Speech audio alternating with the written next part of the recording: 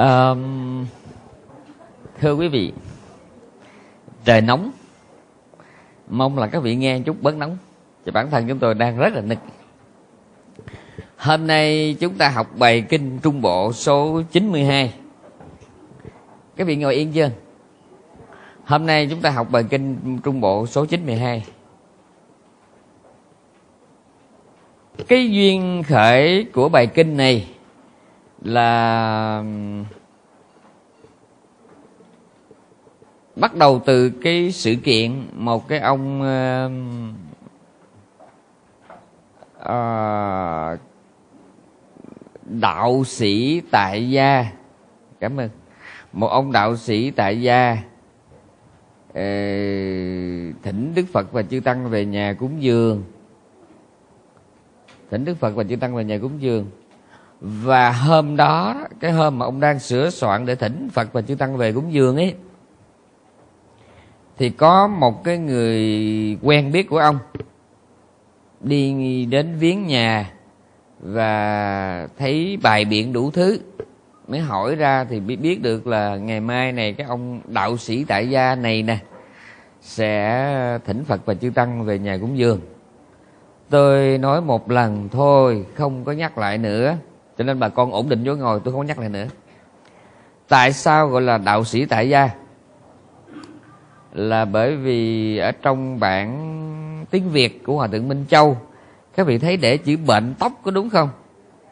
Bệnh tóc. Chữ bệnh tóc này từ tiếng pali là chatila. Chatila là một cái hình thức à, tu sĩ ở bên ấn độ thời đó. Họ để tóc dài như là câu đài hòa hảo rồi họ mới họ mới quấn nó lại thành ra một cục trên đây thì gọi là chatila. Ừ. mà tại sao ông này gọi là đạo sĩ bệnh tóc? Bởi vì ở trong chú giải đó nói rằng ông này đó ổng được gọi là ta bát sát ta bát sát là đạo sĩ. Mà ông vốn xuất thân đại gia. Có nghĩa là ông rất là giàu. Cho nên đó là ông có tuy là có cái lòng tu hành nhưng mà ông chỉ có tu được cái 50% thôi không biết các vị có nghe cái bài giảng gần đây của tôi hay không? Đó là tôi nói rằng là có rất là nhiều kiểu tu hành. Có những người tu hành á, cuộc đời của mình nó là một hành trình, là một chuyến bay. Mà có những chuyến bay chúng ta đi bằng vé khứ hồi và có những chuyến bay chúng ta đi bằng vé một chiều. Có nghe kịp không? Tôi, cho tôi được nói thiệt một chuyện, bà con đừng có giận, mà nếu có giận thì tôi cũng chịu luôn có rất nhiều ngồi, người ngồi trước mặt tôi. Mang tiếng là cầu đạo giải thoát, nhưng mà toàn đi vé khứ hồi không? Khứ hồi là sao? Miệng thì nói là lìa bỏ năm dục, nhưng mà lìa bỏ một phần, còn một phần để dành đó để hưởng.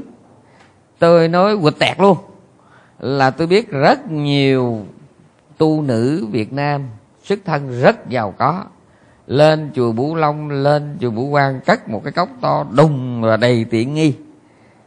Ăn ngày một buổi, nhưng buổi chiều thì uống sinh tố với sâm một lạng như khoảng chừng trăm đô. Ừ. thì cái người này được gọi là lìa bỏ các dục, nhưng mà bằng cái vé khứ hồi. Có đi mà có về. Ừ. thì ông nội này, ông Kenya này cũng vậy. Ông giàu ghê lắm. Ban ngày thì ông ông thắt bính, mặc áo tu ban đêm thì vợ con đề huề một lũ. Ừ. cho nên là ông mới có tiền ông thỉnh đức phật di tăng về nhà để cúng dường. Thì có một cái người bạn thân của ông tên là bà la môn sela ông này rất là nổi tiếng.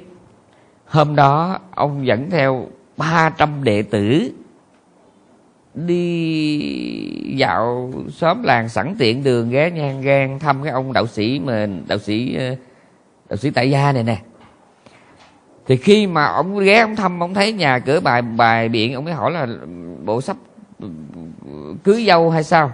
Thì uh, ông kêu nói không ngày mai tôi thỉnh đức phật và chư tăng về nhà cúng dường. Các vị có biết không? Khi tôi đọc chú giải đó đọc chánh tạng thì không có xuất sắc nó đọc chú giải đó đọc chú này tôi bị tôi làm tôi nổi da gà đó. Ông nghe đến chỗ này cái ông mới nói thế này. Ông nói làm lần nữa đi ngày mai ông thỉnh ai trai tăng? Ông kêu nó thỉnh đức phật và trai tăng ông nghe tới cái chữ phật, ông hỏi bây giờ ngài đang ở đâu? Chứ không phải như mình mình nói mình đi chùa vậy chứ thực ra đó, tôi nói hoài, tùy vào cái túc duyên quá khứ mà chúng ta có được gặp chánh pháp hay không. Và tùy vào cái túc duyên quá khứ mà khi gặp chánh pháp rồi, chúng ta quan tâm tới cái gì trong chánh pháp? Có người khoái bố thí có người khoái làm chủ lễ dân y trương cái tên to đùng đằng trước công tầng tôn nữ nguyễn thị lộ liễu gì đó. Nhưng mà lòng thì không có tu hành gì hết mà chỉ khoái bố thí cầu danh vậy thôi. Ừ. chưa kể có mà bên mỹ có một số người vô chùa ừ, cũng bố thí cúng dường nhưng gặp ai cũng ừ, đưa cho cái thẻ mà business card đó để mà giới thiệu tiệm nail của mình. Cho nên những người như vậy là những người tu hành bằng cái vé khứ hồi. Thì ông này cũng vậy. Nhưng mà riêng cái ông bạn của ông đó vừa nghe nó đến chữ phật thôi. Ông đã nghĩ bao nhiêu chuyện. Thế là ông cùng với 500 đệ tử đi đến, cùng với 300 đệ tử đến gặp đức phật. Và ông hỏi đức phật mấy điều thôi. Chuyện đầu tiên đó là ông muốn nhìn thấy 32 tướng tốt của phật. Và sau đó ông hỏi thế tôn có mấy điều? Chẳng hạn như ông hỏi rằng, người như ngài thì con phải hiểu như thế nào? Thì ngài nói rằng, cái cần thấy ta đã thấy cái cần tu ta đã tu, mà cái cần bỏ ta đã bỏ rồi. Đó là lý do ta được trở thành một vị phật. Cái câu trả lời này nó hay, không thể hay hơn được. Toàn bộ đời tu của chúng ta, toàn bộ kinh điển của phật pháp, hai mươi mấy thế kỷ lịch sử của đạo phật, hoàn toàn có thể thu gọn trong cái cái câu trả lời của đức phật. Cái cần thấy ta đã thấy, cái cần tu ta đã tu và cái cần bỏ ta đã bỏ. Thế nào là cái cần thấy? Mọi thứ ở đời này, từ mặt trăng, mặt trời, biển, cả sông ngồi đại dương kinh rạch, con người tính con ông, cái kiến, hoa, lá, cành, mọi thứ, bla bla bla bla. Tất cả đều là khổ. Chính vì mọi thứ đều là khổ, nên tất cả những gì mà chúng ta thích đều là thích trong khổ. Thí dụ như chiều nay, quý vị nói với tôi rằng chiều nay quý vị đi hát karaoke, chiều nay các vị đi đánh bài, chiều nay các vị đi shopping chiều nay các vị đi chùa tất cả những cái chuyện mà các vị thích đó, đều nằm trong cái khổ hết. Mà tu tứ niệm xứ là gì? Tu tứ niệm xứ để thấy liên tục và thường trực rằng là mọi thứ luôn vô thường và khổ. Gián tiếp hay trực tiếp mà thôi. Cái gì mà đắng á, thì nó là khổ trực tiếp. Cái gì ngọt á, nó là khổ gián tiếp. Là vì sao? Vì sao khổ? Ngọt là khổ. Vì thấy cái ngọt đi tìm nó mà không được cũng là khổ có được nó rồi, không giữ được cũng là khổ. Các vị nghe kịp không? Năm nay tôi 50 tuổi, tôi nhìn đám ma, tôi buồn kiểu khác, nhìn đám cưới tôi buồn kiểu khác. Tôi nhìn đám ma tôi buồn là vì tôi nghĩ sớm muộn gì tôi cũng như vậy. Tôi sẽ lìa bỏ cuộc đời này vào một cái ngày thật là buồn như vậy. Và nhìn đám cưới tôi lại buồn chuyện khác, là tại sao đời nó khổ mà có đứa nó ngu, nó cứ chung vào, nó cưới làm cái gì? Nó cưới rồi may mắn mà nó không có bị vô sinh thế, nào nó cũng ra một hai đứa. Mà cứ trong toán học, một cộng một là hai, trong hôn nhân một cộng một bằng năm bằng mười. Mà cứ có một người chào đời là mai này lại có thêm một cái quan tài, mai này cuộc đời lại có thêm một đám tang. Khiếp như vậy đó. Thì đó là cái cần thấy, phật đã thấy. Cần lìa bỏ thì phật đã lìa bỏ. Cái cần lìa bỏ là cái gì? Phật không có tiếp tục thích nữa. Mà có một chuyện này, tôi mong bà con nhớ dùm cho tới chết. Đá nát vàng phai xuống chốn cũ tuyền cũng phải nhớ. Đó là, hễ bà con còn có cái thích thì tôi đoan chắc một nghìn phần trăm bà con còn có cái để ghét. Ai mà mê khen thì bị chê, chết le lưỡi. Kẻ nào mê sướng thì khi khổ, chịu không nổi thích được khen thì tôi bảo đảm rằng khi mà bị chê họ chịu không nổi. Uh-huh. cho nên đức phật ngài đã lìa bỏ không còn thích cái gì và ngài cũng không có bất mãn cái gì. À, lần đó ngài nanh đà ngồi trong rừng. Ừ, ngồi trong rừng thì có gì đâu mà vui. Ngồi vậy nè. Có cái ông bà la môn ông đi ngang. Ông hỏi về chứ ông sư ngồi một mình thấy buồn quá ha. Cái ngài nói ta mất cái gì mà ta buồn cái hỏi vậy là vui à? Cái ngày nó ta được cái gì mà ta vui? Câu nói đó rất là thông minh. Đó là một coi nhiệm trong những câu nói minh triết nhất của nhân loại. Thế giới này nó không phải là chỗ để chúng ta được hay mất, mà nó là cái chỗ để chúng ta tiếp tục sống trong sự tẻ nhạt. Thế giới không đắng, thế giới không ngọt, mà nó chỉ nhạt. Tại sao nó nhạt? Là vì nó vô nghĩa và nó không dẫn về đâu hết. Cho nên thấy được như vậy và lìa bỏ cái niềm đam mê và bất mãn trong đó. Khi mà thấy được và lìa, thấy được cái cần thấy, lìa bỏ được cái cần lìa bỏ thì ngài cũng phải tu tập cái cần tu tập đó, chính là bát chánh đạo. Cho nên, ở đây, trong một câu nói rất là ngắn thì ngài đã kính đó nói đủ bốn đế, mặc dù ngài chỉ nói có ba. Thấy được cái cần thấy, bỏ được cái cần bỏ, tu được cái cần tu. Khi người nào có được ba cái này thì tự nhiên người đó cũng chứng được cái cần chứng. Mà ngài, đối với huệ căn của ông trước mặt ngài, xét không cần thiết phải nói tới cái thứ tư. Không cần thiết, nha thì sau khi mà nghe xong cái bài giảng này, ổng phát cái ờ, bồ đề tâm, quỳ xuống xin đức phật xuất gia theo ngài. Trong chú giải nói rằng trong chánh tạng không có nói. Trong chánh tạng không có nói. Đó là lý do tại sao bà con phải đến nghe tôi. Và tại sao người ta phải nghe kinh tạng? Là vì tôi đọc chú giải dùm nha. Trong chú giải nói rằng cách đây một trăm ngàn đại kiếp. Các vị biết đại kiếp là gì không? Là một kiếp trái đất đó. Một kiếp trái đất theo khoa học thì trái đất này nó đã 4 tỷ rưỡi tuổi rồi. Mà theo trong kinh nó còn lâu hơn như vậy, vì cách đây mới mấy hôm thôi. Thì các nhà khoa học Âu Mỹ cho chúng ta biết rằng có những cái lục địa nó đã một thời nó là cựu lục địa và bây giờ nó đã chìm xuống đáy biển ở Ấn Độ Dương. Và ở các cái đáy đại dương người ta phát hiện ra những cái tân lục địa nó sắp trồi lên để thay thế cho những cái cũ. Nói như vậy thì uh, trái đất mà chúng ta đang sống ở đây đó đúng là một phần ba trái đất là mặt đất là đất còn một ba phần tư là nước. Nhưng mà nó bể dâu ở một chỗ là nó trồi sụp nó chìm nổi thương hải hóa vi tan điền biển xanh biến thành ruộng dâu. Rất là nhiều lần như vậy nó làm nên cái mà gọi là đại kiếp hay là tuổi thọ của trái đất. Rất là lâu mà cách đây một trăm ngàn đại kiếp như vậy thì có một vị chánh đẳng giác tức là Badumutara tức là là uh, Baduma tức là, là sen. Mà Badumutara có nghĩa là thơm mà đẹp hơn sen. Ngày ra đời lúc đó uh, có một ông cư sĩ ông cũng có 300 đệ tử thân thiết vào chùa nghe pháp cúng dường trai tăng và gieo cái duyên giác ngộ. Lúc đó họ không đủ sức chứng nhưng mà đúng một trăm ngàn đại kiếp sau thì họ gặp lại đức phật thích ca mâu ni. Và chiều nay họ đến thì gặp ngài, nghe ngài trả lời như hồi nãy giờ tôi nói vậy đó. Họ mới đi xuất gia. Nhưng mà có điểm quan trọng thế này, trong chú giải có nói điểm này quan trọng nè. Vì 300 người này cộng với ông sư phụ là 301 từng tạo cái duyên cúng dường dân y có nghe hiểu không? Từng tạo cái duyên cúng dường nhân y có nghĩa là sao? Tức là họ từng, trong quá khứ họ từng gặp chư tăng, chư phật và họ đã ngoài cái việc mà cúng dường cơm nước ra họ đã từng có cái chuyện mà cúng dường cái này nè. Cho nên khi gặp phật chánh đẳng giác ra đời, ngài chỉ đưa tay ra, ngài nói, thôi, ngài nói, ê hí, phích khú, nếu một người, ê tháp phích vô, nếu hai người trở lên.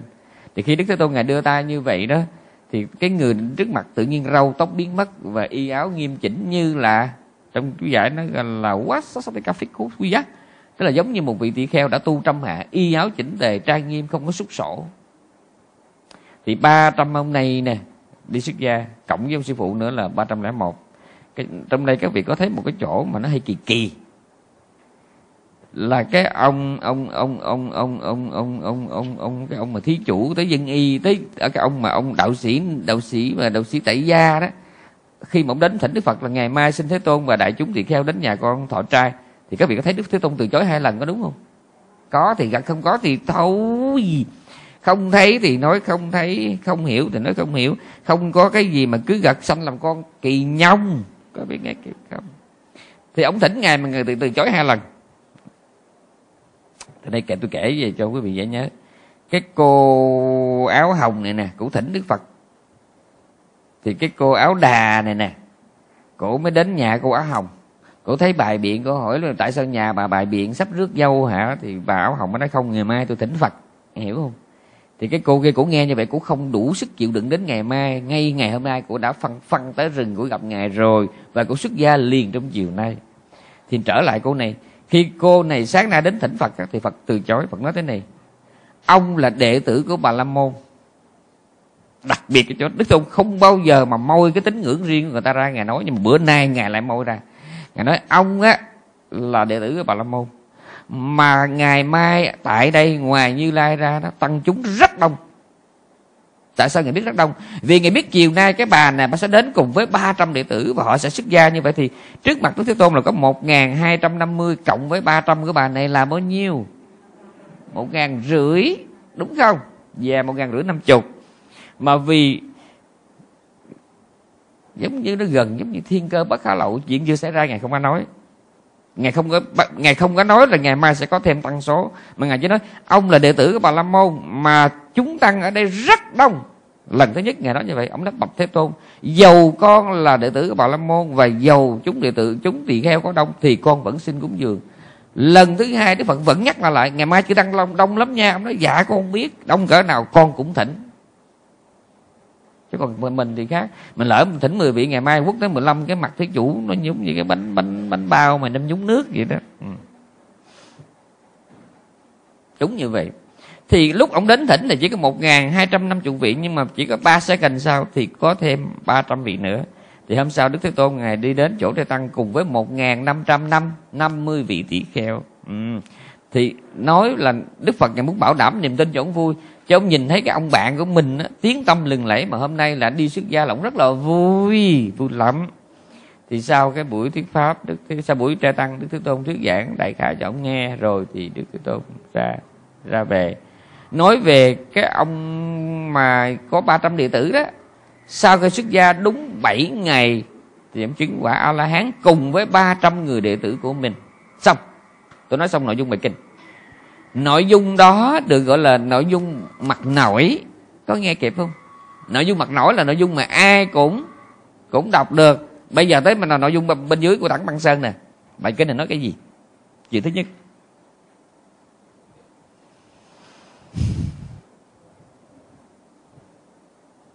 Do nhiều biến cố chính trị của đất nước. Từ năm 1954 và sau đó là năm 1975 có rất nhiều người Việt bỏ quê ra đi làm viễn khách xa xứ và không mong ngày trở lại cố hương. Năm 1954 rồi năm 75 tôi tuyệt đối không nói vấn đề chính trị ở đây tôi đang nói đến vấn đề văn hóa văn nghệ trong số tứ kiệt họa gia như tô ngọc vân nguyễn ngọc trí của việt nam trong đó có ông tí tôi nhớ không lầm ông nguyễn gia trí ông tô ngọc vân nếu tôi nhớ không lầm là ông, ông tô ngọc vân ổng từ miền bắc di cư vào nam. Ổng có vẽ ổng có đem theo một bức tranh vẽ chùa một cột, tháp thiên mụ và chợ bến thành. Ổng để bên dưới bức tranh đó một câu như thế này. Chúng ta đi mang theo quê hương. Có nghe kịp không? Các vị có thấy lạc đề không? Tôi đang giảng mà nội dung bài kinh này mà tôi bắt đầu bằng câu chuyện bằng cha họa sĩ mới ghê chứ. Tức là trả rời miền bắc đã đem theo một bức tranh vẽ chùa một cột tháp thiên mụ và chợ bến thành và bên dưới cái thái độ của nó là chúng ta đi mang theo quê hương và đúng như vậy sau 75 rất nhiều người Việt xa xứ đã mang trong tim mình bóng dáng của miền Tây, miền Trung, miền Bắc để xuống tàu đi vượt biên. Nhưng mà tôi muốn nói cái gì? Trong cái tâm tình viễn xứ của những người Việt tha hương, mỗi người có một kiểu thương nhớ quê khác nhau. Có người xa quê mà mang theo một nắm rau đắng sau hè. Có một người mang theo trong tim cái điệu dạ cổ hoài lan của sáu lầu. Có người mang theo trong tim máy nhì máy đẩy của miền trung và có người mang theo quan họ bắc ninh của miền bắc. Có người mang theo mắm tôm, có người mang theo mắm ruốc, có người mang theo khô sạch. Mang theo trong tim mình đó. Thì với chừng đó hành trang cộng với đức tin tôn giáo qua bên xứ người, ai là chúa tiếp tục theo chúa, ai là chùa tiếp tục về chùa. Có nghĩa là xa xứ bao xa thì hành trang của mỗi người vẫn liên tục không rời chúng ta. Trong dòng sanh tử y chang như vậy, cũng phật đó, cũng tăng đó. Nhưng mà cái ông đạo sĩ tại gia này, ông đối với đức phật cái hành trang mà ông đến với giáo pháp nghèo quá bây giờ hiểu chưa? Hiểu chưa? Ông làm thí chủ, ông thỉnh phật về nhà trai tăng. Nhưng mà cái cuối cùng, cái mỏng được từ đức phật nó ít hơn cái thằng cha bạn, phải không? Cái cha bạn tự nhiên ghé nhà, cái thấy ồn ào, hỏi mấy câu vô làm cái rẹt. Cái bị nghe kịp không? Chúng ta đi mang theo quê hương, là chỗ đó đó, là chỗ đó đó. Chúng ta xa quê, chúng ta tùy, chúng ta mang theo cái gì? Và quê hương cái tiếng gọi tình tự của dân tộc, nó đi theo chúng ta đến cùng trời của đất thiên gia, nhai, hải giác. Nó, chúng ta mang tới cái gì thì quê hương, trong lòng chúng ta nó là cái đó đó quý vị. Nó là cái đó. Có người suốt cuộc đời tu mang Phật trong lòng mà Phật của họ không có đủ 32 tướng tốt. Các vị biết tại sao không? Vì trong 32 tướng tốt có một, có những cái tướng rất là độc đáo. Cặp mắt của ngài rất là đẹp vì nhiều đời ngài nhìn người khác đó, bằng tâm bi mẫn không có hay mít lườm liếc. Ngài có cái hàm răng ngài có nụ cười rất là đẹp. Về nhiều kiếp ngài không có nói cái gì làm phiền người khác. Nhưng mà những cái người này là những người quá là hay lườm liếc là những người thích tám thích nhiều chuyện thích đâm thọc cho nên cái tượng phật trong cái tưởng tượng của họ họ quên hai tướng đó. Ừ. Có hiểu chưa? Có hiểu tôi nói gì không? Người thích tu chánh niệm cái đức phật mà trong lòng của người tu chánh niệm đó, đi đứng chậm ghê lắm. Chậm ghê lắm. Cái người thích phép màu thì phật trong lòng họ nó thần thông nhiều ghê lắm. Cái người nặng về trí tuệ đó thì phật trong lòng họ là một bậc minh triết tôi nói có nghe kịp không? Có nghe không? Tôi thương mẹ tôi là vì mẹ tôi hát vọng cổ rất là hay. Cho nên bóng dáng của mẹ tôi là bóng, là là cải lương là vọng cổ nhưng mà chị tôi thương mẹ tôi là vì mẹ tôi nấu bánh canh rất là ngon. Thế là mẹ tôi trong lòng chị tôi là chỉ là tô bánh canh thôi. Các biết nghe kịp không? Cái mỗi lần ở xứ người mà ăn bánh canh là khóc. Khóc vì mẹ một nửa, vì ớt cay một nửa. Các vị nghe kịp không? Thì đức phật cũng vậy thôi. Đức phật trong lòng mỗi người Nghĩa là ngài đẹp ra sao? Ngài có đủ 32 tướng tốt hay không là tùy thuộc vào cái vốn liếng của mình. Cho nên cái anh cha này cái cha Kenya này đó, cái vốn liếng của của chả có về Đức Phật chút xíu thôi. Cho nên, Đức Phật và một ngàn năm trăm năm chục tỷ kheo đến nhà trai tăng, mà cái Kenya thu hoạch được có một chút xíu thôi. Trong khi đó xe la lại khác. Cái mỏng có với Đức Phật nhiều quá. Khi mình thương nhau rồi, một sợi tóc đủ để mất ngủ rồi. Mình không thương nhau, thì nguyên một cái bộ quần áo của người xưa để lại chỉ là một cái bộ vẽ rách thôi các vị nghe kịp không? Có nghe hiểu không? Uh-huh. cho nên một sợi tóc không phải là nhiều nhưng cũng không phải là ít. Nguyên một ngôi nhà nguyên một khu vườn mà người xưa để lại nó không phải là ít nhưng chưa hẳn nó là nhiều. Là tùy thuộc vào cái tâm cảm của chúng ta dành cho người xưa được bao nhiêu. Có nhiều đứa con chờ cha mẹ lăn ra chết để nó làm cái gì?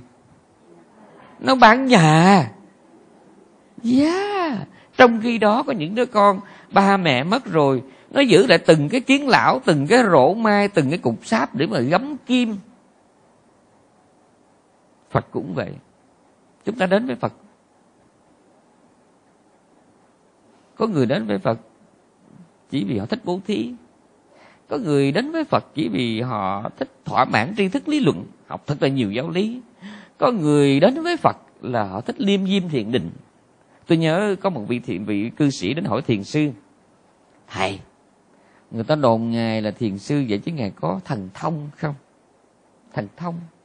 Vị thiền sư đang ngồi liêm diêm con mắt mở mắt ra hỏi thần thông là cái gì? Phép lạ là cái gì? Thì ông cư sĩ ông nói uh, thần thông là đi trên nước thần thông là đi trên than đỏ thần thông là đi trên không khí được thì ông thiền sư ông hỏi vậy chứ đi trên cái đó nếu bây giờ tôi đi được trên đó, đó thì ông có được cái gì không? Ông ông nói không nhìn cho đã thôi. Có đúng vậy không? Có đúng như vậy không? Nếu bây giờ tôi nè bây giờ tôi không thèm ngồi đây nữa mà tôi lơ lửng tôi cách cách cái bàn này tắt quý vị có được cái gì thì nhìn cho đã thôi giống như David Copperfield vậy thôi. Yeah. Ở đây ai biết David Copperfield? Biết. Một nhà ảo thuật của mỹ thì cái ông cư sĩ này ông hỏi như vậy thì ngài thiền sư mà không gấp làm nó có chứ. Thầy không thể đi trên thang, thầy không thể đi trên nước, thầy không thể lơ lửng trong không khí. Mà nếu làm được thầy cũng không thèm. Lý do cái đó không giúp được ai. Nhưng mà phép lạ của thầy là đi trong chánh niệm tỉnh giác, đi trong cái từ bi, hỷ xả, đi trong cái thông cảm bao dung, đi ở trong cái niềm thương đối với người khác hiểu không? Cái đi như vậy nó giúp được nhiều người hơn. Tôi nói thiệt. Cái cô áo tím này cô mới trúng số 50 tỷ mà cô là cái thứ người dắt chảy ra nước. Các bạn nghe kịp không? Trong khi cái cô áo nâu kia đó thì bà buông gánh băng bưng, nhưng mà cái lòng của bà nó bao la, bao ngát. Ngày nào bà gánh về ngang chùa, bà cũng bấm chuông mới cho tôi một chén thì tôi hỏi các vị cái gánh chè của bà đó với 50 tỷ này, cái nào giúp tôi? Thấy chưa? Bà 50 tỷ mà ém thiệt là kỹ. Đi du lịch, đi đại hàng, đi thái lan, bơm sữa, cắt giá tùm lum chớ cho tôi một xu. Bà kia có một gánh chè mà tôi nhớ ngày nào cũng bấm chuông, thầy, chè thầy, chè tôi chết tôi cũng còn nhớ chén chè của bà. Bị bị tiểu đường gì bả không không hận mà vẫn thương mới ghê chứ. Thương cái kẻ mà đẩy cho mình bị đáy đường mới ghê chứ. Tình mà, tình nó trong chén chè đó. Ừ. trong khi đó bà hai này bà trúng 50 tỷ mà tôi không ăn được một cắt thì mai này tôi nghe bà trúng lần hai. Tôi chỉ thêm ghét thôi. Tôi nói cái thứ như vậy mà trời đuôi sao mà cho nó trúng lần nữa. Ừ. Cho nên, tùy vào cái vốn liếng của mỗi người chúng ta đóng góp được gì cho thế giới và chính đóng góp là phép lạ. Là phép lạ. Trong tinh thần của phật pháp, phép lạ không phải là cái gì đó để mình nhìn cho nó đã con mắt, mà phép lạ là một sự hoán chuyển. Tôi nhớ một vị thiền sư khác, ông nói thế này. Bạn có thể dời một ngọn núi, bạn có thể lắp một con sông nhưng mà cái đó nó không có ghê gớm bằng bạn có thể chuyển hóa cho những người tà kiến thành chánh kiến. Những người sân si trở thành mát mẻ. Những người u mê mà tự nhiên có trí tuệ. Những người cuồng tính mà trở nên chánh tính cái sự chuyển hóa đó nó mới ghê gớm. Và có một chuyện các vị tuyệt đối phải đồng ý với tôi. Cái chuyện mà dời núi khoa học làm được phải không? Nhưng mà cái chuyện mà thay đổi suy nghĩ của một người chắc chích thuốc tử hình nó thôi chứ còn không có cửa nha. Cho nên ngày ngày còn bé tôi đọc được câu này tôi không có tin. Tàu có một câu thế này, chém đầu ngàn viên tướng ngoài trận dễ hơn là thay đổi cái chí của kẻ thất phu. Tôi nói, vô lý. Chém đầu ngàn viên dũng tướng ngoài trận dễ hơn thay đổi cái suy nghĩ của kẻ thất phu. Thất phu là cái thằng tào lao đó. Nhưng mà tôi già tôi thấy đúng một ngàn viên tướng đúng là là khó chặt đầu nó thiệt, nhưng mà mình có thể dùng mỹ nhân kế, dùng cái cách ly gián, dùng khổ nhật kế lắp lắp la còn không, nó lấy bơm bùm lên đường ngàn thằng nhưng mà để thay đổi suy nghĩ của một người thì rất khó nha. Cho nên phép lạ của đạo phật là gì? Phép lạ của đạo phật là sự chuyển hóa từ từ xấu lên tốt. Tôi nhớ nasruddin là một nhân vật minh triết của hồi giáo. Ông có một câu chuyện rất là thông minh. Ông sống đến già, ngày ông 80 tuổi bạn bè đến thăm, ông, lúc đó ông đang nằm ngáp ngáp thôi thóp trên giường bệnh ấy. Ông thiều thào, ông nói thế này, năm 20 tuổi tôi ôm mộng thay đổi thế giới. Năm 40 tuổi tôi ôm mộng thay đổi mọi người chung quanh tôi. Năm nay tôi 80 tuổi, tôi mong thay đổi được tôi thôi. Yeah. Nhưng mà các vị đừng coi thường cái chuyện đó. Nếu mỗi người trong cái đám đông này mà tự thay đổi được mình, thế giới sẽ được thay đổi. Các vị có tin gì đó không? Yeah. Các vị thay đổi à tôi thấy tôi phun một miếng kẹo chewing gum. Đâu có bao nhiêu. Cô kia cũng nghĩ không có bao nhiêu. Cuối cùng nguyên một đống toàn là chewing gum không? Tôi liền xuống một cái bao ni lông à, vị đó liền xuống một cái chai nước. Cô kia liền xuống một cái lon. Một cái lon không là rác. Chưa đủ để gọi là rác. Một tờ giấy không đủ là rác. Một cái bịch ni lông không đủ là rác. Một cái chai nước một lon nước không đủ là rác. Nhưng gom tất cả lại chúng ta có nguyên một đống rác. Thế giới này là một cái môi trường cộng hưởng không có gì trên đời này tồn tại, độc lập mà không cần đến cái sự kết nối, liên đới và cộng hưởng, cộng sinh với vô vàng những thứ khác. Vì đó là bản chất duyên khởi của thế giới. Vô ngã là gì? Vô ngã là không có một cái gì đơn thuần bất biến một mình nó mà nó có thể tồn tại. Ngay cả một nụ cười, một giọt nước mắt của chúng ta, nó cũng cần đến vô số điều kiện mới có được. Do đó người phật tử hiểu được cái nguyên tắc này càng phải sống có trách nhiệm hơn. Vì sao vậy? Vì một nụ cười của mình vẫn có thể đưa tới một bi kịch. Một cái lườm liếc của mình có thể dẫn đến một bi kịch, có đúng không? Chẳng hạn như cách đây có nửa tiếng, tôi nói chuyện với một cô phật tử, mặt mũi dễ thương. Tôi đang buồn ngủ, tôi nghe nó có khách tìm. Tôi gặp cô, tôi nói chuyện rất là mệt, cái mắt cô rất là đẹp. Cô không có ở đây. Thì tôi nghĩ trong bụng, giá mà, giá như hôm mấy đừng mưa, giá như hôm mấy đừng đưa em về. Giá mà cặp mắt nó xấu đi một chút. Từ một mí nó xuống một mí rưỡi tôi đâu có khổ dữ thần như vậy. Các vị nghe kịp không? Tôi nói điều đó không có phải là tôi suối, các vị hư như tôi. Mà tôi muốn nói rằng, chuyện gì trên đời, nhiều khi nó chỉ là một cớ rất nhỏ, nó hoàn toàn có thể là điểm bắt đầu cho một sự cố sự kiện cực lớn. Người ta nói rằng, giá mà cái lỗ mũi của Cleopatra ngắn hơn một chút thì không có cái cuộc chinh phạt của La Mã vào Ai Cập. Chúng ta biết rồi cái nền văn minh của Ai Cập đó là một nền văn minh lớn với nhân loại. Uh-huh. và nó bị xóa sổ trong tay của Cleopatra. Chỉ một chút lỗ mũi nếu mà ngắn hơn một chút hoặc dài hơn một chút. Uh-huh. cho nên chúng ta biết nụ cười của đắc kỷ của bao tự rồi thì của dương quý phi rồi thì sau đó là của nạp lan tức là từ hy thái hậu chỉ một người đàn bà thôi đã khuynh đảo cả một đất nước trung quốc. Uh-huh. tất cả chỉ là một cái chuyện rất là nhỏ. Vì sao? Vì thế giới này là một thế giới của sự tương duyên nha. Cho nên à, khi hiểu được mọi thứ không có gì tự mình tồn tại độc lập mà phải cần đến vô số điều kiện nhân duyên để có thể hiện hữu và vận hành. Thì khi hiểu được cái này chúng ta được ba cái lợi. Cái lợi thứ nhất chúng ta nhận ra rằng không hề có chiếc xe trên đống phụ tùng. Vì sao? Vì đống phụ tùng chính là chiếc xe. Bản thân tôi không phải là thằng tèo thằng tí, mà bản thân tôi là sự cộng ghép của vô số điều kiện tâm sinh lý. Đó là cái nhận thức về vô ngã. Điều thứ hai, khi thấy rằng mọi thứ tồn tại bằng nguyên tắc tương duyên, thì tự nhiên ta thấy rằng ta phải sống trách nhiệm hơn. Bởi vì ta là một mắt xích, trong vô vàng những mắt xích làm nên cái dòng chảy của cuộc đời. Các vị nghe kịp không? Và cái thứ ba, khi hiểu được cái dấu lý nhân duyên thì chúng ta mới có thể tu tập được. Các vị phải biết vấn đề của mình nó nằm ở đâu, các vị mới tu được chứ, nghe kịp không? Cho nên tay có một câu rất là hay. Cái này tôi nói thiệt chậm nha. Vấn đề lớn nhất của chúng ta là không biết vấn đề mình nằm ở đâu. Có dễ nhớ không? Vấn đề lớn nhất của chúng ta là không biết vấn đề của mình nó nằm ở đâu. Và trong một buổi giảng gần ở đây, tại hoa kỳ. Trong ờ, ngày vía ngày vía di đà đó, tôi có nói đến một chuyện này. Tôi nói đến một chữ rất là quan trọng trong thế giới hôm nay. Đó là cái chữ transparency.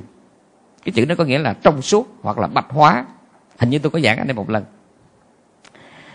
không có cái gì trên đời này có thể giải quyết trước khi nó được bạch hóa. Cái hiểu chữ bạch hóa không? Bạch hóa là làm cho nó nó nó mình phơi bài tốt tùng tụt tất tần tạch thì cái đó gọi là bạch hóa. Ví dụ âu à, nhức răng. Nha sĩ muốn giải quyết cái nhức răng thì họ phải tìm coi thằng nào nhất số 7 hay là số 8 hàm trên hay hàm dưới đúng không? Dạ yeah, phải biết. Nhìn kỹ coi cái này có thể là lấy chỉ máu hay là nhổ cái này có thể là gắn một cái crown lên hay là một cái bridge bắt bắt chồng qua làm răng giả. Cái răng này có thể bọc xứ được hay không? Cái răng này có thể implant được hay không? Nghe kịp không? Họ tùy nhìn cái răng cái răng nào cũng làm được nha. Ừ. cho nên chuyện đầu tiên nha, sĩ muốn giải quyết cái hàm răng của vị các họ phải biết toàn bộ vấn đề của hai hàm răng.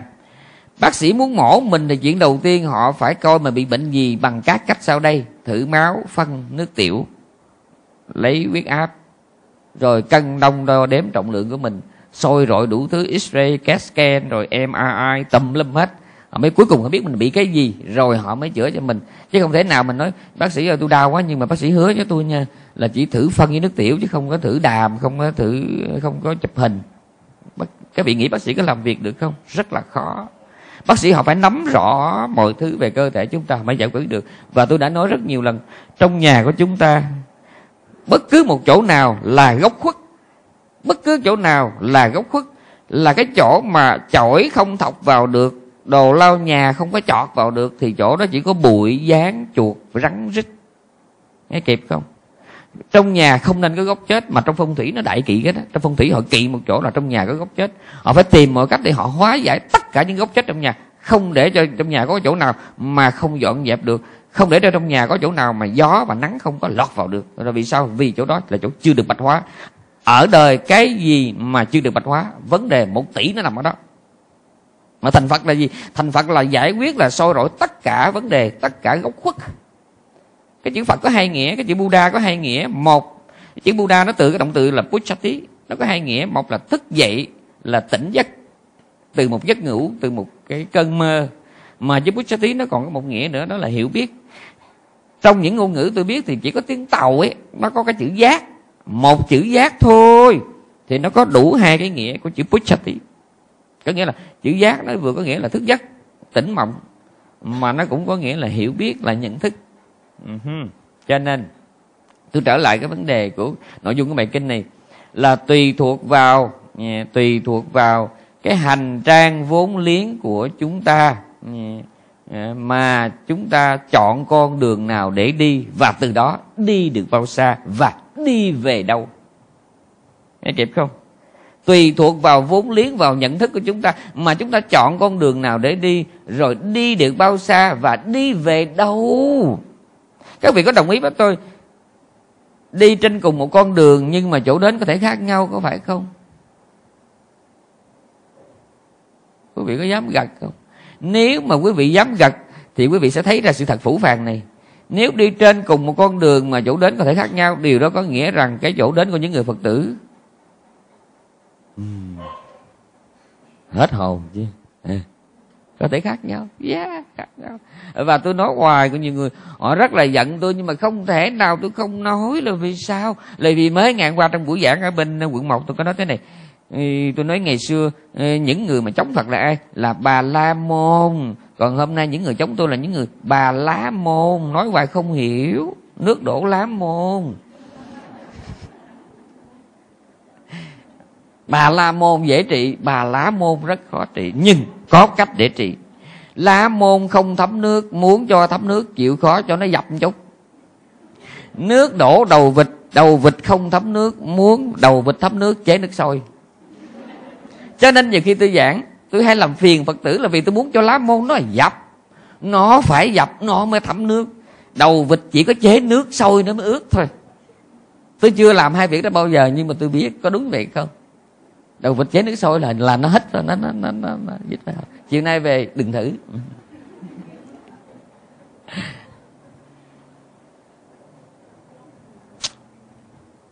Cái vốn liếng của chúng ta nó trong đây nó ra. Nhưng mà nó không phải một ngày một buổi mà nó cần đến ngày dài tháng rộng. Nó là một cái quá trình tích lũy nhiều ngày. Tôi cách đây có mấy phút tôi nói chuyện với phòng khách tôi nói tình yêu hạnh phúc kiến thức nhận thức quan điểm chính trị, quan điểm tôn giáo, quan điểm xã hội, quan điểm triết học, quan điểm khoa học của chúng ta, nó không phải là một cái món đồ mà ai đó trao truyền cho chúng ta bằng cách nhét cái túi gà nút kéo dây, zipper, không phải. Mà nó, tất cả những thứ thuộc về tinh thần, nó phải đòi hỏi đến một quá trình tích lũy, nha. Thì cái, tôi nói lại, tùy vào cái túc duyên, quá khứ của chúng ta mà chúng ta có gặp được chánh pháp hay không. Mà khi gặp chánh pháp được rồi thì ừ, chúng ta chọn cái, lấy cái gì? Chúng ta quan tâm đến cái gì trong chánh pháp? Và chúng ta quan tâm đến mức độ nào? Chúng tôi trở lại trong đời sống mỗi người. Trong một bài giảng gần đây, tôi có giảng về một cái đề tài là chủng tử. Tôi lại ôn lại một lần nữa. Chủng tử là sao? Là hạt giống. Mỗi ngày, các vị nhớ, mỗi ngày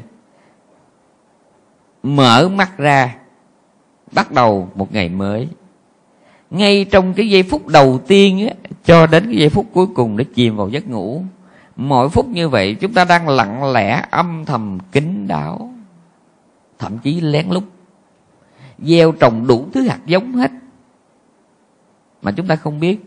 Trong mỗi khoảnh khắc chúng ta gieo trồng hạt giống để trở thành phật. Trong mỗi khoảnh khắc chúng ta gieo trồng hạt giống để trở thành trâu bò sư tử rắn rít trong mỗi khoảnh khắc chúng ta gieo trồng cái chủng tử ta thành thiền sư, giảng sư, luận sư, bla bla bla sư. Nghe nghe kịp không? Vấn đề là chúng ta gieo cái hạt nào nhiều nhất?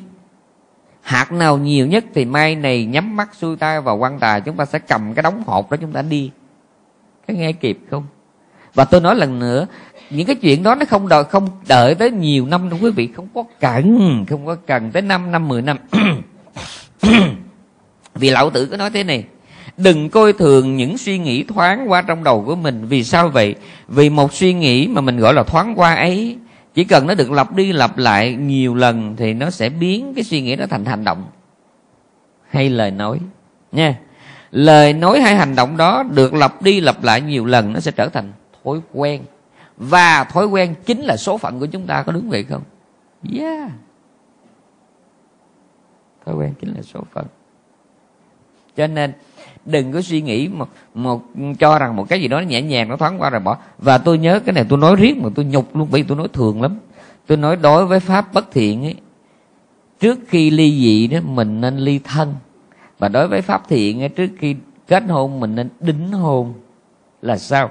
Đó là pháp bất thiện trước khi mà ly dị mình nên, nên ly thân có nghĩa là mình chưa có khả năng mình lìa bỏ gia đình mình chưa có khả năng mình giữ tám giới mình chưa có khả năng sống viễn ly. Nhưng mà ngay bây giờ trong lòng mình có cái ước muốn là mong rằng tôi sẽ như vậy mong rằng tôi sẽ như vậy. Cái mong nó rất có lợi.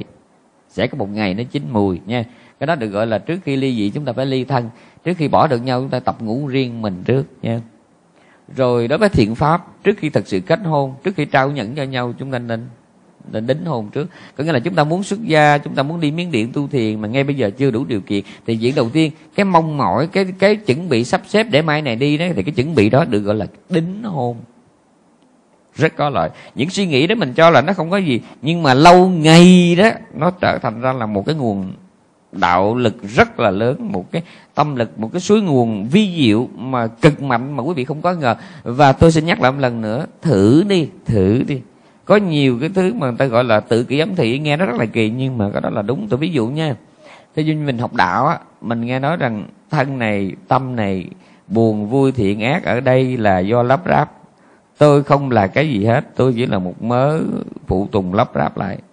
Dĩ nhiên buổi đầu á mình nghe cái đó nó hơi kỳ kỳ. Nhưng nếu ta thường xuyên niệm đọc cái thần chú này nè, tôi tin chắc một ngàn phần trăm sẽ có một ngày, quý vị an lạc. Tin tôi đi. Không tốn một xu, ngu gì không thử. Hiểu không?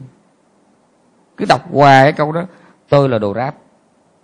Mà nếu sang hơn nữa là tôi vừa là đồ là đồ ráp, mà tôi cũng là đồ rác. Phải nói rằng đó là một câu thần chú rất là kỳ nhưng mà tôi tin rằng nó hay hơn câu niệm phật. Là vì sao? Vì câu niệm phật mình niệm lâu ngày chúng chửi mình vẫn còn giận. Có thể. Nhưng mà nếu mình niệm tôi là đồ ráp tôi là đồ rác. Nếu mình niệm lâu ngày cái khả năng chịu đựng của mình rất tốt.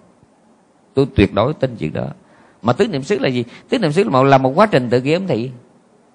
Tôi biết ở đây ai học vi diệu pháp nghe cái chỗ này rất là sốc. Săn tháo nhảy lên cãi là ừ, sư nói vậy là sư hạ thông phải thật sự buổi đầu mình biết cái giống gì mình hoàn toàn là sống bằng cảnh chế định không? Lúc đó là mình phải xài tự kiếm thị. Đi bước đạp nhai nuốt cầm lên để xuống. Nóng giận vui dễ chịu khó chịu đau lạnh nóng mát ngứa. Lúc đầu là toàn là chế định không? Rồi dần dần mình mới nhận ra một điều mà không có thầy bà sách vở nào trao được, đó là khi mình lâu ngày mình thấy nhiều mình chính là những cái đó nó cộng lại đó, thì lúc đó mình mới thấy mình thật sự đó. Nhưng mà không tôi nói lúc đầu mình là một cái like, và sau đó là mình là spot, và cuối cùng mình là dot hôm đầu là mình là cuộc đời, mình nghĩ cuộc đời mình là cuộc đời của thằng tèo cuối cùng mình nghĩ mình chỉ là những cái đốm thiện ác buồn vui. Và cuối cùng mình nhận ra mình là chỉ là những dấu chấm của thiện ác buồn vui thôi. Nhớ, cái đó quan trọng vô cùng. Và đó là những thứ mà tôi nói cho bà con mà tôi cũng phải thực tập cho tôi. Tôi thực tập không phải là vì tôi là hành giả, tôi là thiền sư, tôi là người tu hành chân chánh không phải, mà vì tôi có ba điều mà bắt buộc tôi phải tu tứ niệm xứ. Thứ nhất, tôi sẽ chết, và cũng đã sắp chết.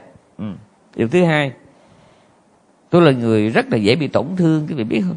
Tôi đủ thứ tự ti, tôi đủ thứ mặc cảm hết á. Mà chỉ có tứ niệm xứ mới cứu tôi được. Và điều thứ ba, làm thầy chùa nhiều năm tôi nhận ra một chuyện.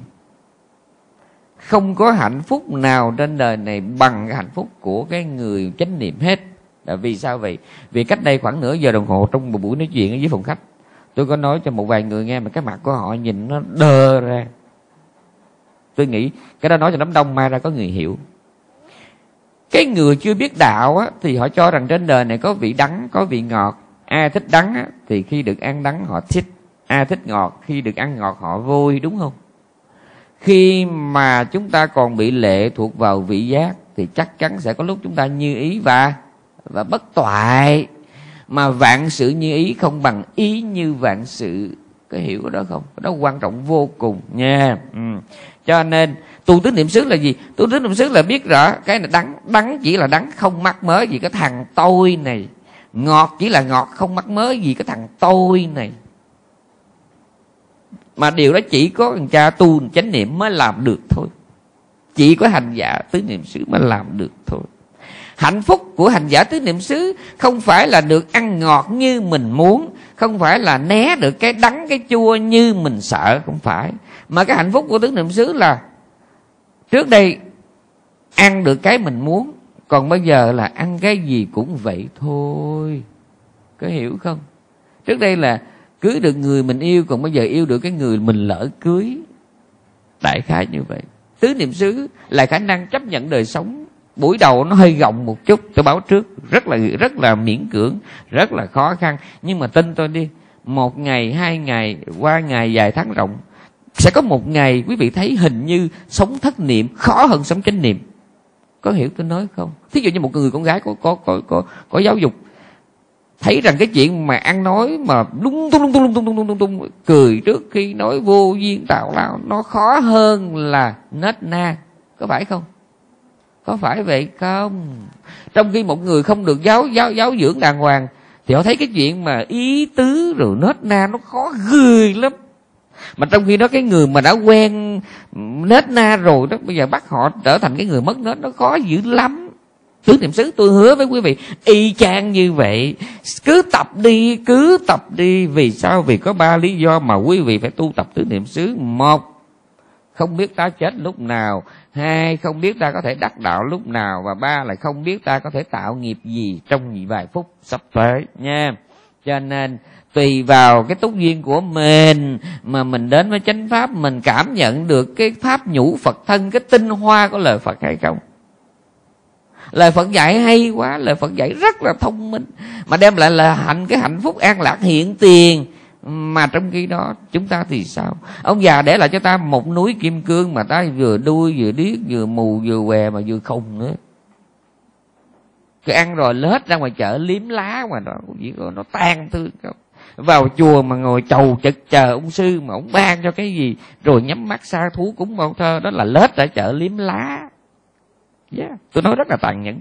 Tôi đang làm dập lá môn không học giáo lý không có hành trì mà chỉ vào chùa chờ ông sư ông ban đó. Yeah. cho nên lương khải siêu mới nói thế này đối với thầy á mình nên là một người học trò để tiếp nhận cái hay chứ đừng bao giờ là nô lệ để chấp nhận vô điều kiện những gì mà ông đổ đầu của mình kể cả rác nói đến đây tôi nhớ một câu câu ca dao việt nam hỡi cô quét rác trên lầu xin cô đừng đổ rác lên đầu chúng tôi. Là, mà nó mà đi vô chùa hoàng nghe pháp phải nhớ cái câu đó hãy cô quét rác trên lầu sao cô đổ rác ra đầu của tôi? Mà đi vào chùa, những cái gì mà thiền sư, pháp sư giảng cho mình, hãy cẩn thận. Vì sao? Cách đây mấy chục phút tôi có nói chứ.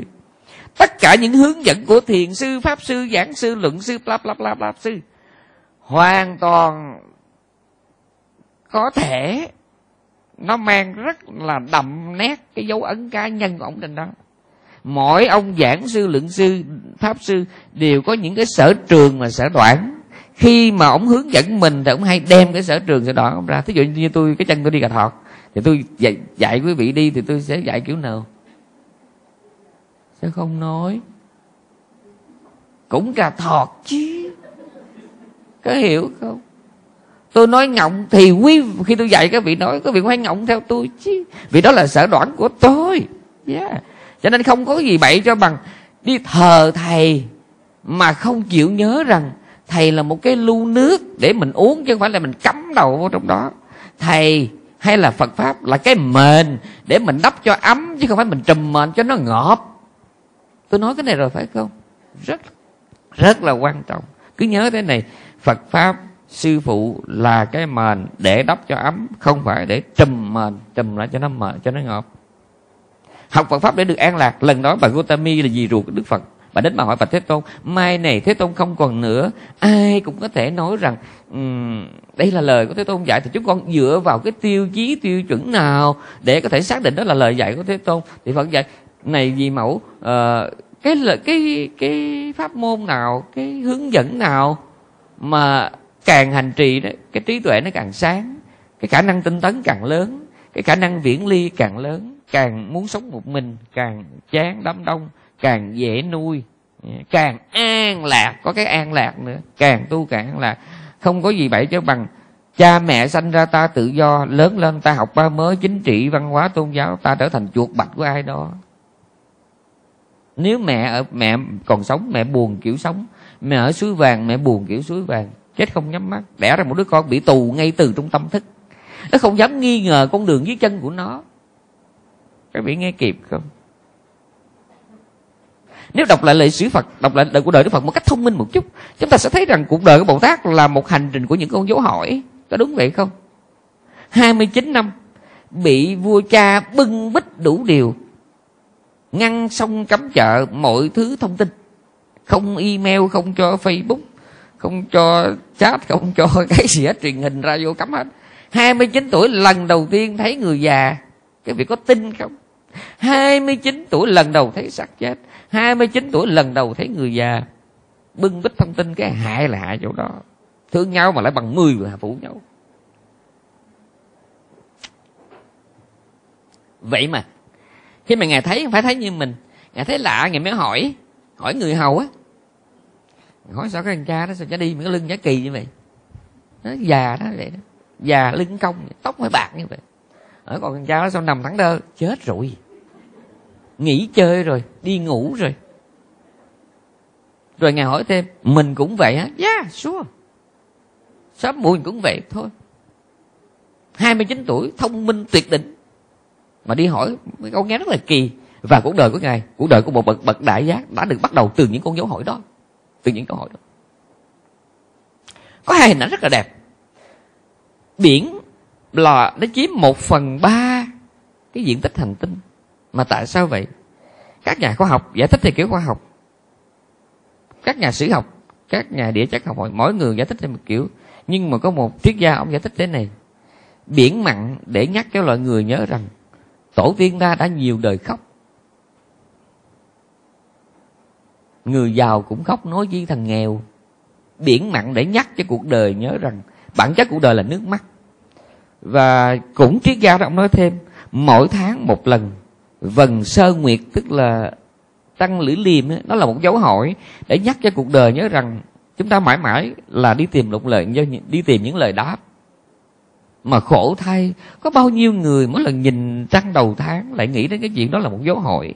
Chúng ta từ đâu tới chúng ta sẽ về đâu chúng ta đang là gì trong cái vũ trụ bao la này? Và chúng ta cần phải làm gì chúng ta phải sống ra sao? Để đừng hoang phí cái phận người hiếm hoi mà mình có được. Uh-huh. cho nên cuộc đời của đức phật là một cái hành trình của những dấu hỏi. Và khi tìm được những câu trả lời ngài trở thành bậc đại giác thầy của chư thiên và nhân loại tứ sanh từ phụ thiên nhân chi đầu sư. Ngài, ngài thắc mắc cái gì? Chuyện đầu tiên ngài thắc mắc ai cũng già hết hay sao? Ai cũng chết hay sao? Rồi thì ngài bỏ mọi thứ ngài đi tu. Ngài đi theo mấy ông đạo sĩ ngài đắc sơ nhị tam tứ thiền sắc giới rồi hư không, không vô biên thức vô biên rồi vô sở hữu xứ gặp mình là mình đã chết ngắt ngay cái chỗ đó rồi.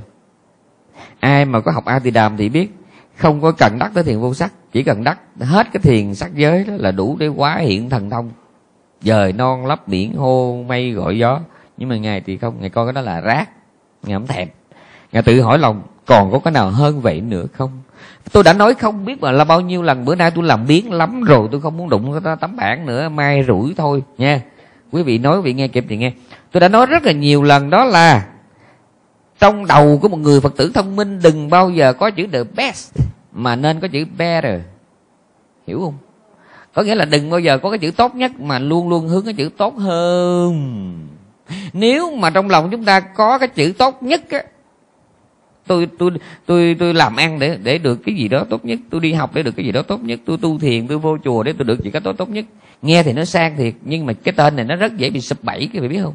Mai này nó gặp cái thứ tạo lao, nó cũng có thể lầm đó là thứ tốt nhất. Nhưng mà cái tên thông minh thì không bao giờ. Nó không bao giờ nó treo cái chữ tốt nhất trước mặt nó, mà nó treo cái chữ tốt hơn. Cho nên không bao giờ nó dừng lại quá sớm. Cuộc đời là một hành trình đi hoài. Ừ. Đi cho đến bao giờ vô hòm thì thôi, nhé. Yeah tôi nhớ hoài uh, có câu chuyện rất là tào lao.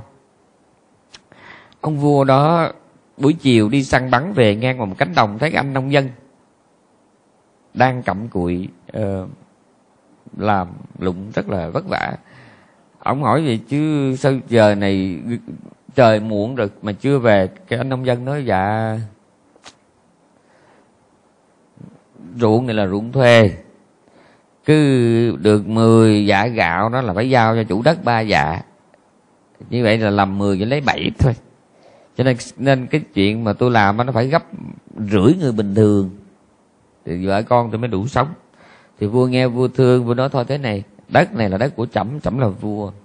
Từ đây về đến tối khanh chạy được bao nhiêu thì chừng đó đất sẽ là của khanh. Anh nghe anh mê quá bắt đầu anh, anh luyện cố anh chạy lẽ ra gặp tôi là tôi chạy khoảng chừng chục mẫu là được rồi. Chạy ra mặt tiền kiếm chỗ làm quán cà phê, rồi chạy lùi trong cái kiếm chỗ trồng cam, nhãn, da bò là đủ sống rồi, không, nhắm bắn chạy riết. Anh chạy riết mà đến một lúc mà coi như trời gần tắt nắng, mà anh cứ tiếc, anh nghĩ là thêm chút nữa thì thêm đựng công. Cuối cùng nó mệt quá mà trời gần tắt nắng, anh nói thêm chút nữa đựng xào. Và cuối cùng anh nghĩ bụng thêm chút nữa đựng thước. Và cuối cùng anh gục xuống người ta chôn ảnh trong cái lỗ, con thức rưỡi. Chúng ta cũng vậy. Cả một đời chúng ta là một cái hành trình mãi hoài chạy, kiếm kiếm, chạy chạy, kiếm kiếm, chạy. Và trên cái cuộc đi đó đó, có người thì hài lòng quá sớm với cái mình có. Cũng là một bi kịch. Mà có kẻ thì không biết điểm dừng cũng là một cái bi kịch. Ở trong đạo phật, cái đức phật ngày dạy như thế này có trường hợp nên biết điểm dừng, có trường hợp không nên có điểm dừng. Để thỏa mãn cái thị dục, cái sở thích thì nên có điểm dùng nhưng mà trong thiện pháp, trong đạo hạnh thì không nên có điểm dừng. Ở trong kinh nói rằng nói rộng á, mấy giờ rồi? Nói nhiều, nói dài, nói dai một tiếng thôi, lạ, nó lâu. Chiều nay tôi còn phải đi qua từ quen nữa. Tối mai bay rồi.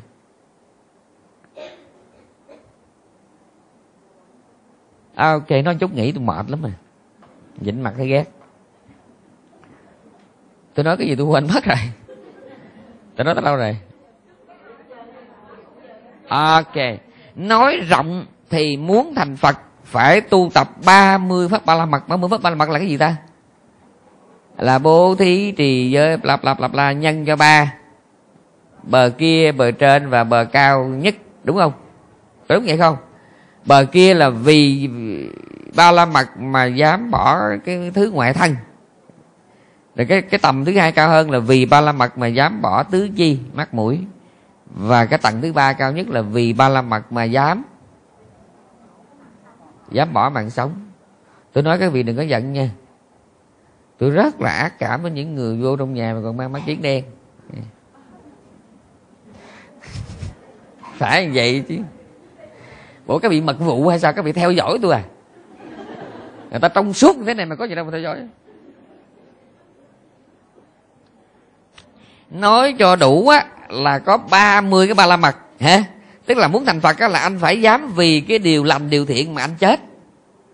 Còn nếu mà anh anh anh không dám vì cái thiện anh chết, mà anh chỉ dám vì cái thiện tốn chút đỉnh thôi đó, thì mốt anh thành thánh mà thánh nhỏ nhỏ, biết không? Tiền nào của nấy quăng ra có hai triệu mà đòi mua nhà đất, mua cái gì?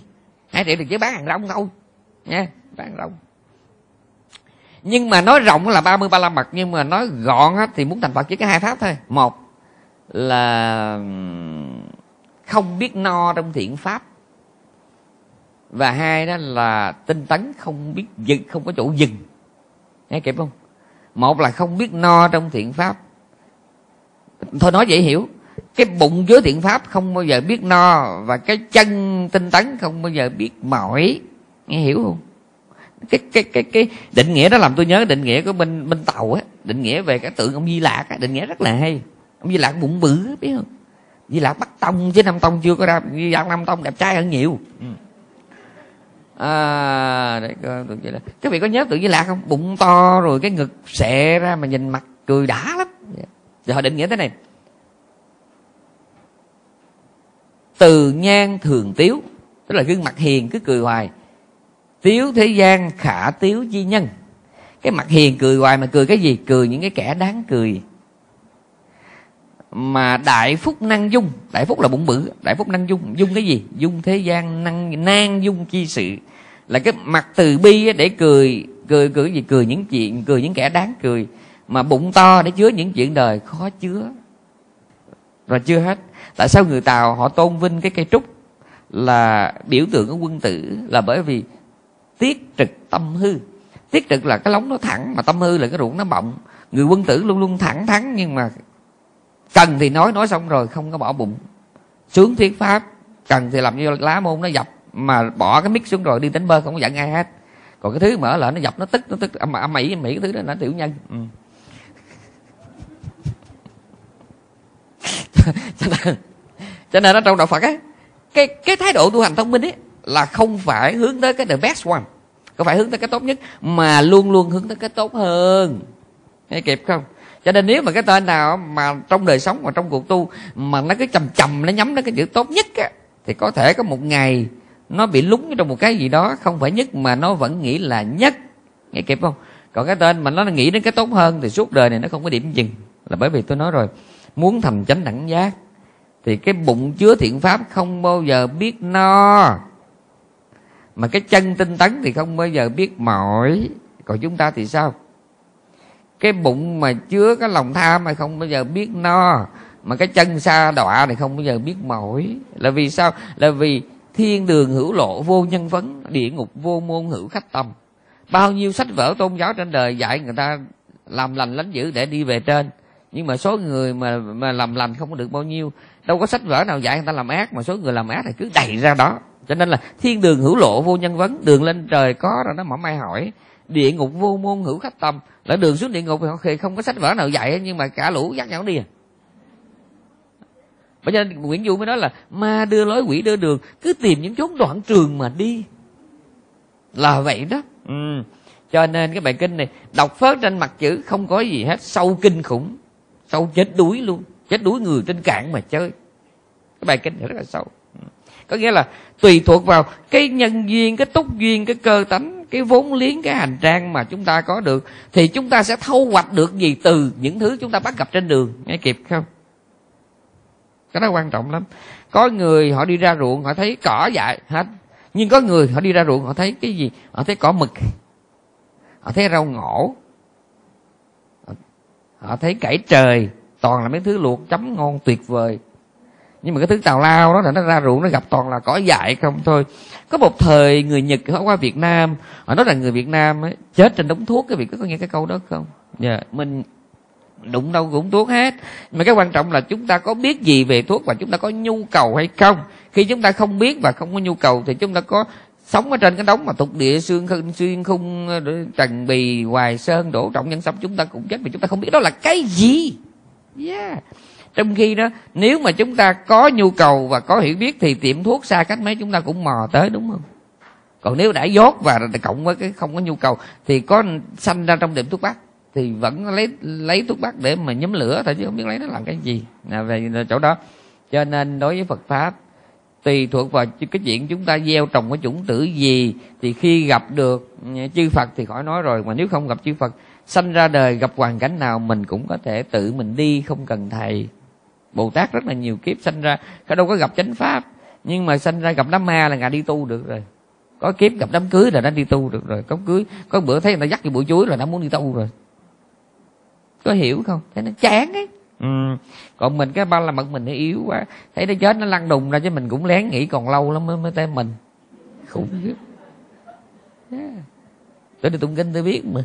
Tôi, tôi tụng kinh rồi tôi thấy nó nằm lạnh ngắt xanh lè tôi nghĩ xui như tôi giờ còn tại hai đứa bằng tuổi mà. Đi nó đi trước đi ngủ sớm. Thật ra đó là mình dễ vui. Chứ thật ra nếu mà mình có cái huệ căn á tinh tấn á cứ thấy người ta khóc cũng đủ để mình tu rồi. Thấy vợ chồng nó gây nhau mà cũng đã muốn tu rồi. Thấy một cái lá vàng rơi, thấy một cái giọt nước động bên thềm một cái chút nắng chiều, một chút sương sớm đủ tu rồi. Vì sao? Vì mình có vốn liếng, vì mình có hành trang. Trên đời này vườn táo thiếu gì, táo rụng thiếu gì, nhưng có được bao nhiêu nêu tình? Hiểu không? Có hiểu không? Rồi cái thứ mà ngâm bồn thiếu gì nhưng có được chỉ trên đời ngâm bồn á, chỉ có được một archimedes thôi. Yeah chỉ có được một người đó thôi. Thấy đam ma, đám cưới thiếu gì mà chỉ được một tất đạt thôi. Tại vì sao vậy? Vì vốn liếng của người ta. Khi người ta có bạc tỷ trong tay, người ta nhìn một miếng đất, người ta biết ngay đất là đất vàng. Hiểu không?